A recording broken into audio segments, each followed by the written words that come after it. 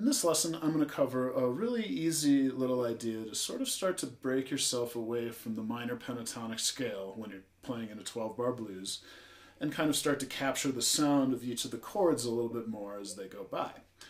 Now, I don't want to rail too badly on the minor pentatonic scale because, you know, a lot of great classic blues and rock guitar licks live in that scale, and it would be hard to get real far playing blues rock guitar without playing the minor pentatonic scale at least some of the time.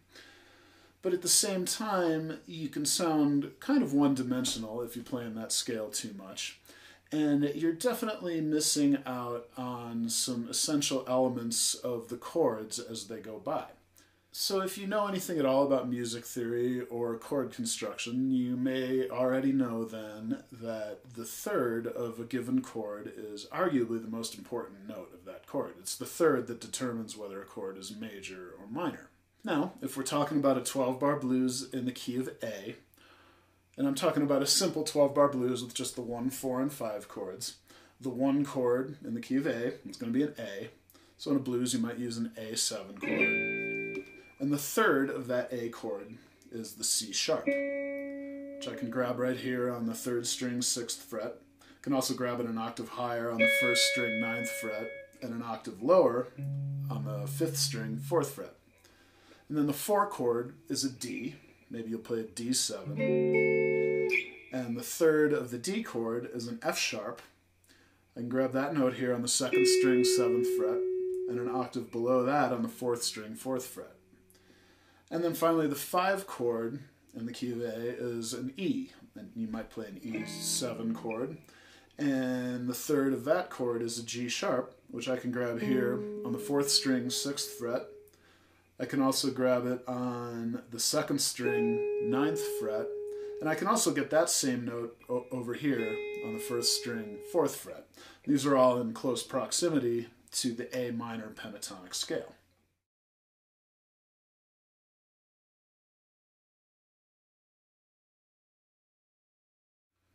But what's really always been kind of interesting to me is that, you know, as great as the A minor pentatonic scale sounds in a 12 bar blues, none of those thirds are present in that scale. So by playing in that scale, you're really missing out on what is arguably the most essential element of each of those chords.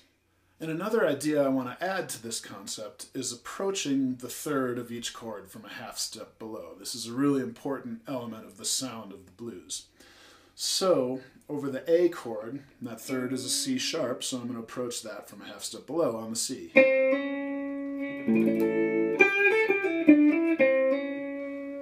And then on the D chord, that third is an F sharp, so I'm going to approach that from a half step below on the F. And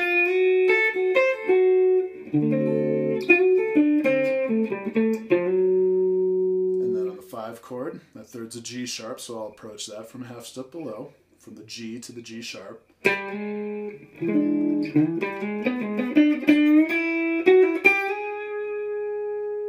then I'll return to the A chord again by hitting the C going to the C sharp, the flatted third going to the third. That's a really important element of the sound of the blues. Okay, so I'm going to start up a backing track now. It's a 12 bar blues in the key of A. And as the chords go by, I'm going to try to target the thirds of each of those chords. And I'll talk you through what I'm doing a little bit. So here's the one chord, the A. Here comes the four. Back to the one. Here's the five.